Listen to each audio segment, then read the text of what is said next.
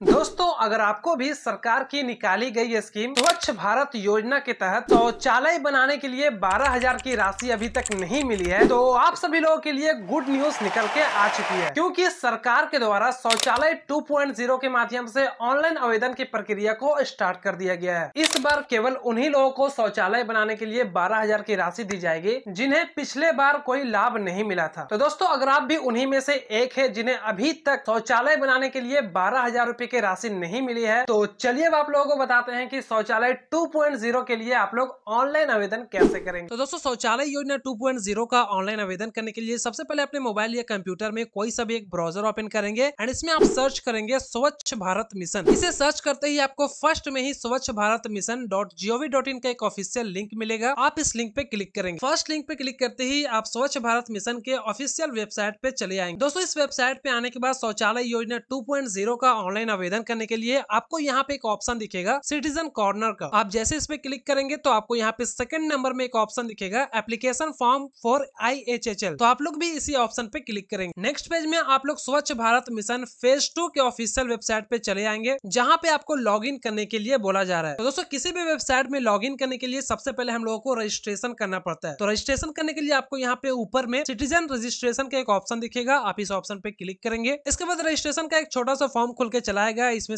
सबसे पहले आप लोग यहाँ पे अपना मोबाइल नंबर को फिल करेंगे एंड गेट ओटीपी के ऑप्शन पे क्लिक करेंगे। इसके बाद आपके मोबाइल नंबर पे एक ओटीपी जाएगा। उस ओटीपी को यहाँ पे इस कॉलम में फिल करके वेरीफाई ओटीपी के ऑप्शन पे क्लिक करेंगे। मोबाइल नंबर को वेरीफाई करते ही आपसे कुछ और डिटेल्स मांगे जाएँगे। जैसे सबसे पहले आप यहाँ पे अपना नाम फिल करेंगे, जिसके नाम से आप आवेदन कर रहे हैं। उनके जेंडर को सिलेक्ट करेंगे। एड्रेस वाले कॉलम में अपना फुल पता को यहाँ पे फिल करेंगे। स्टेट को अपना सिलेक्ट करेंगे एंड इस कैप्चा कोड को इस कॉलम में फिल करके सबमिट के ऑप्शन पे क्लिक कर देंगे। सबमिट के ऑप्शन पे क्लिक करते ही आपका जो रजिस्ट्रेशन का प्रोसेस है, वो यहाँ पे कंप्लीट हो जाएगा। रजिस्ट्रेशन को कंप्लीट करने के बाद आप लोग लॉगिन वाले डैशबोर्ड में आएँगे। लॉगिन वाले डैशबोर्ड में कैसे आना है, मैंने आपको पहले बताया आप स्वच्छ भारत मिशन के ऑफिशियल पोर्टल पे आएँगे। सिटीजन कॉर्नर के ऑप्शन पे क्लिक करके एप्लीकेशन फॉर्म फॉर आईएचएचएल के ऑप्शन पे क्लिक करेंगे तो आपके सामने लॉग का डैशबोर्ड खुल जाएगा, ठीक है? तो दोस्तों लॉग करने के लिए आपने जो नंबर से रजिस्ट्रेशन किया है, उस नंबर को यहाँ पे फिल करेंगे एंड गेट ओटीपी के ऑप्शन पे क्लिक करेंगे। इसके बाद रजिस्टर्ड मोबाइल नंबर पे एक ओटीपी जाएगा, उस ओटीपी को यहाँ पे इस कॉलम में फिल करना है। इस कैप्चा कोड को इस कॉलम में फिल करके साइन इन के ऑप्शन पे क्लिक करना है। साइन इन के ऑप्शन पे क्लिक करते ही आप इसके ऑफिशियल पोर्टल पे सक्सेसफुली लॉग इन हो जाएँगे। ऊपर में आपका डिटेल्स होगा एंड नीचे में इस योजना के लिए कौन कौन लोग आवेदन कर सकते हैं, उनका डिटेल्स यहाँ पे बताया जा रहा है। जैसे अगर आप बीपीएल धारक है तो आप आसानी से इसके लिए आवेदन कर सकते हैं। अगर आप S C S physically disabled मतलब विकलांग है लैंडलेस लेबर है स्मॉल एंड मार्जिनल फार्मर या वुमेन है, अगर आप औरत है तो आप आसानी से ऑनलाइन आवेदन कर सकते हैं। अगर आप लोग में से कोई जेंट्स इसके लिए एलिजिबल नहीं है तो आप यहाँ पे अपने माता जी के नाम से, अपनी पत्नी के नाम से भी यहाँ पे ऑनलाइन आवेदन कर सकते हैं। तो दोस्तों, नया आवेदन करने के लिए आपको यहाँ पे न्यू एप्लीकेशन के एक ऑप्शन दिखता है। आप सिंपली इस ऑप्शन पे क्लिक करेंगे। जैसे ही आप लोग न्यू एप्लीकेशन के ऑप्शन पे क्लिक करेंगे तो आपके सामने शौचालय योजना का ऑनलाइन फॉर्म खुल के चलाएगा तो दोस्तों, इस फॉर्म के ऊपर में देखेंगे तो आपका स्टेट ऑलरेडी सिलेक्टेड रहेगा। इसके बाद आप लोग अपना जिला के नाम को सिलेक्ट करेंगे। फिर अपना ब्लॉक सिलेक्ट करेंगे। ग्राम पंचायत को सिलेक्ट करेंगे। आपका विलेज मतलब गाँव कौन सा है, वो भी यहाँ पे सिलेक्ट करेंगे। इसके बाद आपके गाँव का जो टोला का नाम होता है, वो टोला को आप यहाँ पे सिलेक्ट कर लेंगे। नेक्स्ट सेक्शन में आप जिसके नाम से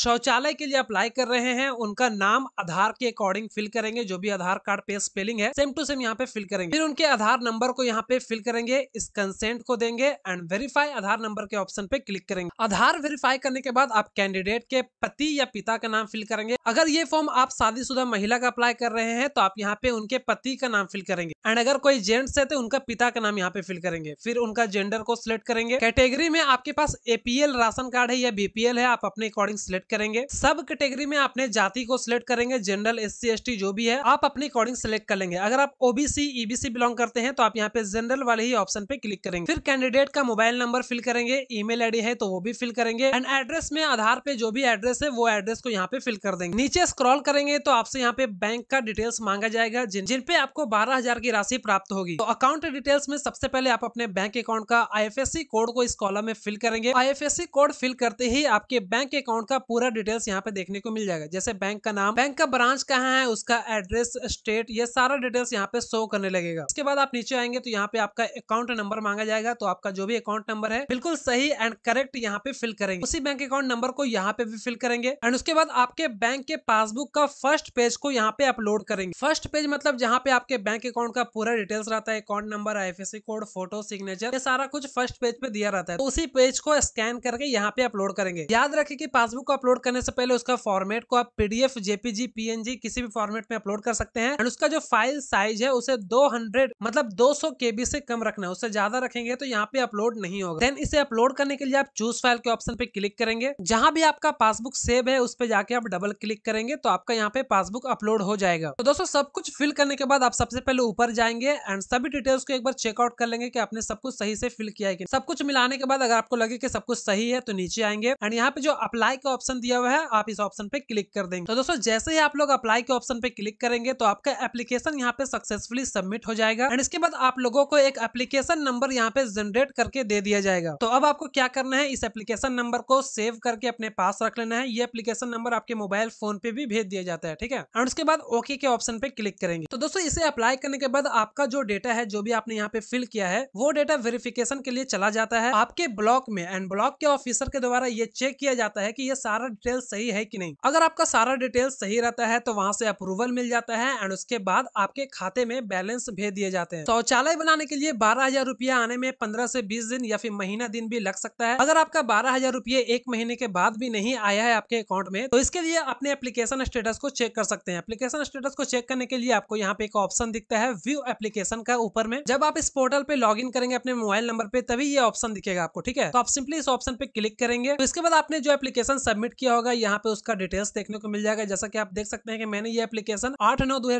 को अप्लाई किया है। इसका स्टेटस कहाँ तक पहुँचा है, इसे जानने के लिए आप सिंपली यहाँ पे ट्रैक स्टेटस के ऑप्शन पे क्लिक करेंगे। तो आपका जो करेंटली स्टेटस होगा आपके एप्लीकेशन का, वो यहाँ पे शो करने लगेगा। अभी मैंने सिर्फ़ यहाँ पे इस एप्लीकेशन को सबमिट किया है तो यहाँ पे एप्लीकेशन रिसिप्ट का ऑप्शन दिख रहा है। अगर आप कुछ दिन बाद अपने एप्लीकेशन स्टेटस को चेक करेंगे तो आपका एप्लीकेशन स्टेटस यहाँ पे कुछ और शो करता है। आपका एप्लीकेशन स्टेटस यहाँ तक पहुँच सकता है या फिर यहाँ पे पहुँच सकता है या फिर डॉक्यूमेंट में कुछ गलती होने के कारण आपका एप्लीकेशन यहाँ पे रिजेक्ट भी हो सकता है। तो दोस्तों, इस प्रकार से आप अपने एप्लीकेशन स्टेटस को भी चेक कर सकते हैं। तो दोस्तों, मैं आशा करता हूँ कि आपको इस नई वीडियो के माध्यम से शौचालय योजना के लिए ऑनलाइन अप्लाई कैसे करना है, इसका कंप्लीट एंड लेटेस्ट प्रोसेस समझ में आ गया होगा। अगर आपके मन में कोई भी कंफ्यूजन है, अगर फिर भी आपके मन में कोई भी कंफ्यूजन है इस एप्लीकेशन से रिलेटेड आप लोग हमें कमेंट बॉक्स में कमेंट करके पूछ सकते हैं। तो दोस्तों, ये वीडियो अगर आपको हेल्पफुल लगी है तो वीडियो को लाइक कमेंट एंड शेयर ज़रूर कीजिएगा। एंड इसी प्रकार के और भी इन्फॉर्मेशन कंटेंट देखने के लिए हमारे इस चैनल को सब्सक्राइब भी कर लीजिएगा। Thanks for watching my videos and जय हिंद जय भारत